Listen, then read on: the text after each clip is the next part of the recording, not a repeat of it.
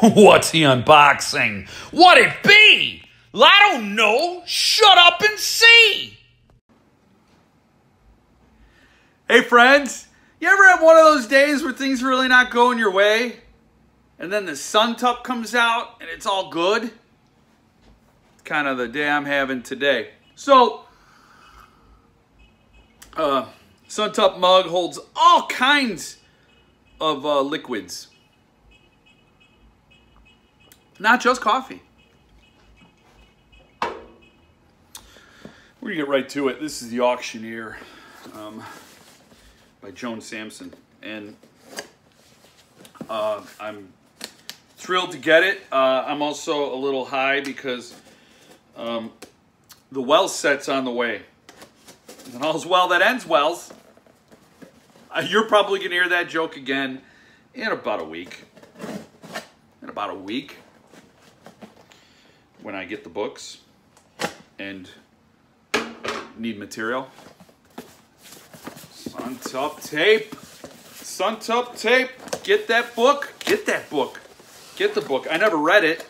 I haven't read it. I have the ARC.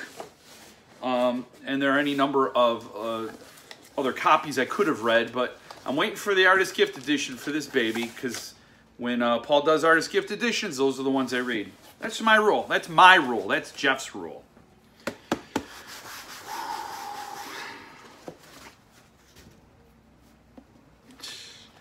Bookmark. There's, you know, there's a set of these bookmarks. You know that bookmark pack I unboxed. You bought it for 25 bucks. It's selling right now on eBay for 102 for the bookmarks. People, people seek this stuff out. They're going to seek this stuff out. That's one for auctioneer. Very cool. Very cool. This book is like signed by everybody. I'll show it to you. So, this is the numbered edition, the slipcase. Ah, really cool. I'm going to show it to you. I'm going to show it to you. Oh, very cool slipcase. I like cows. Cows are delicious. And then, oh, interesting. So, very, very cool sort of spine design. Suntup logo. Really cool. Really cool. I like it. Now, I do know that um, Paul mentioned in one of his Facebook live videos that the spine for this baby is flat. So it's got a, a, a profile that's very square. He liked the way it went into the slipcase. So I concur. oh, oh, Jeffing off agrees with Paul? Oh, somebody call the press.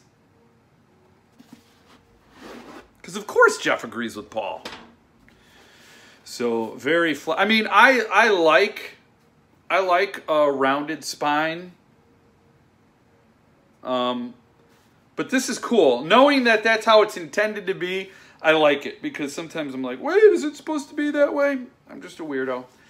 Cool. Uh, you could you could see the texture, um, and you could feel it. Everything on this board, you you could feel that. It's um, it, it looks like you know, it looks like plywood or press board. Very cool. Very cool.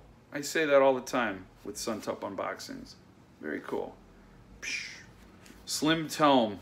So um, let's open it up. The auctioneer. I'm pumped to read it. Somebody, I think Grady Hendrix said, the auctioneer is like if uh, Cormac McCarthy had written Needful Things, you'd get the auctioneer. Wow. I love Needful Things, and Cormac McCarthy is a brilliant writer. Um, so, the auctioneer, I assume the signatures are in the back. Oh, and Grady Hendrix, yeah, wrote wrote the preface for this edition. So, um, very interesting. This is the only book this author's ever written. She passed away um, tragically not long after. So, um, it's signed by a whole slew of people. Four names right there. It's my number 23. Number 23 is home, where she belongs. So, those are the signatures. Um, Very, very, very, very cool. So it's signed um, by uh, Warren Carberg Jr., who wrote the introduction, and I believe that is uh, um, Joan Samson's widower. Um, and uh, Grady Hendrix, who wrote the preface, Wendell Minor, who illustrated the first edition dust jacket, and um, Dave Christensen, who did the art. I, all, this is a second Suntup book with David Christensen's signature, or Dave Christensen's signature. Um, uh, Misery was the first. Misery. He signed the Artist Gift Edition. I know, I don't have the number. but I do have the Artist Gift Edition, so just, you know, his signature's in there. Um, Dave, yeah. So, awesome, and I can't wait to read it. I will not be reading this one, as I stated earlier, waiting for that AGE to hit me. And um, so even as I unbox this, the two Wells books, um, Invisible Man and War of the Worlds, are pending. So I will be high again in about a week.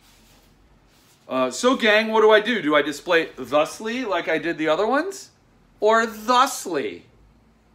I do like that. I do like that printed on spine um, design. Very cool. Very cool. Very nice. Another home run. Another home run. Very cool. Love it. Very happy with this. And um, that's it. That's the unboxing. Outstanding stuff. You can go to the website. Suntup's got a bunch of books available. I believe there are only seven more of those uh, uh, poetry books, uh, the Simic World Doesn't End, available. I'm so, I'm pumped about that, really. Totally honest. Um, you know, Bridges of Madison County was a leap for me when Paul did that as a lettered um, only. I was probably sort of relieved because I really didn't really, really didn't really. I didn't want to go that route maybe. Um, I, I am curious though. I think I'm going to read that one. But um, this is the poetry book is also another departure from from where he's uh, Paul has made his stand and built his customer base. But that's what I'm pumped about. I'm actually really excited. Uh, I hope I connect with that poetry. But that's not all that's available. You can get the auctioneer, the AGE. There's a few copies. 1984 is almost gone. The artist gift edition for that. Um, I believe there will probably be FOMO once people see my channel and um, other people unboxing 1984, you'll be like, oh, that slipped through my fingers. It's available right now. Save yourself the pain. Um, Dr. Suntup's got a prescription for that FOMO. Take one AGE. So you got the poetry book, numbered and lettered. You want a lettered edition from Suntup. Amazing they're available, very rarely are they available. So you got the poetry book, you got Auctioneer, you got 1984, you got Brother. Now this week, so wow, so much Suntup news. Yeah, I kind of need to take notes and put stuff down and prompt myself uh, or have a teleprompter to remember what I want to say because uh, not only are the Wells books in uh, uploading, they're uploading to the Matrix. Um, they're they're inbound. Also, Paul's going to announce another book this week, and everybody thinks it's Ania Ahlborn, Seed. That's this Thursday, I believe. Wednesday he'll do a Facebook Live, so check that out, and then then everybody orders the book on Thursday, and it'll be it'll be fun. And there are copies of Brother currently available. That'll go really well with Seed. There's a pairing. I don't know. And and this week is the first 350 uh, print run for the numbered. Um, Paul's kind of getting into that, getting into those waters. I think uh, some books will still have the 250 print run, um, and uh, and so that's that's all great. But I think the future is going to be 350.